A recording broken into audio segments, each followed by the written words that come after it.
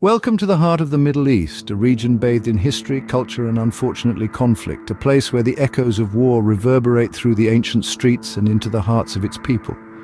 Today we delve into a relentless saga, a conflict that rages on, leaving a trail of destruction and despair in its wake.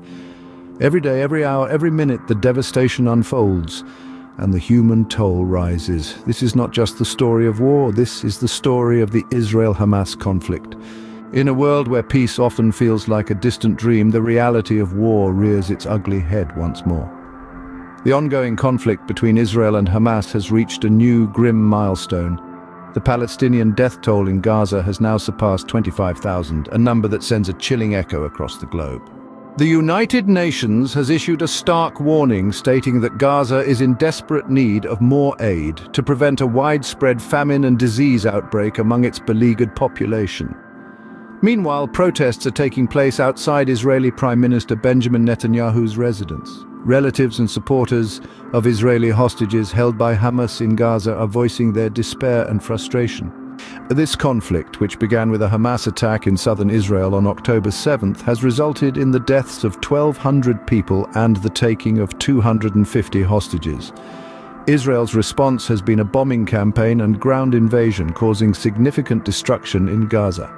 Despite the ongoing conflict, life in Gaza goes on.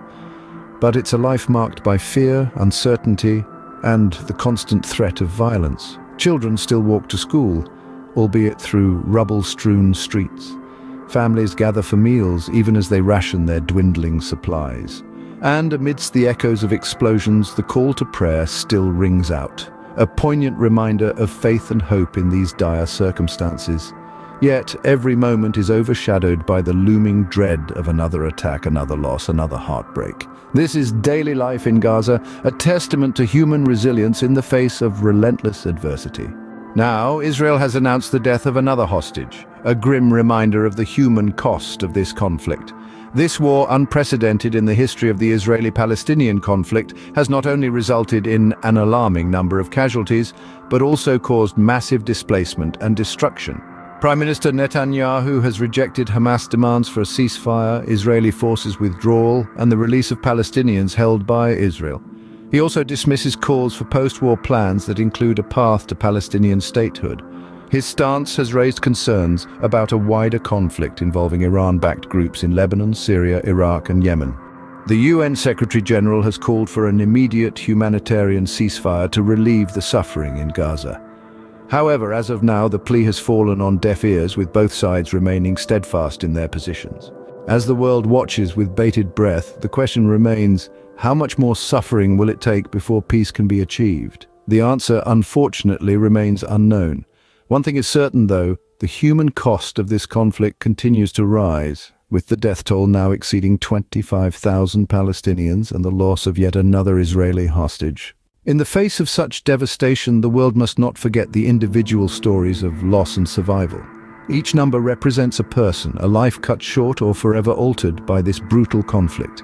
Each statistic is a stark reminder of the urgent need for a resolution, for a path to peace that respects the rights and dignity of all involved.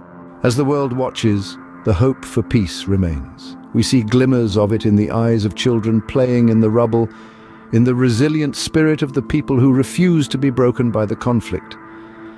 For the sake of those caught in the crossfire, we must continue to hope and work for peace. Let's hope that peace comes sooner rather than later, bringing with it a chance for healing and a brighter future for all. This is the reality of the Israel-Hamas conflict as it stands today.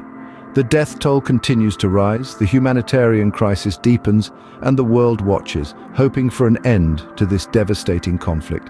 For now, the war rages on, a somber testament to the tragic cost of unresolved political disputes.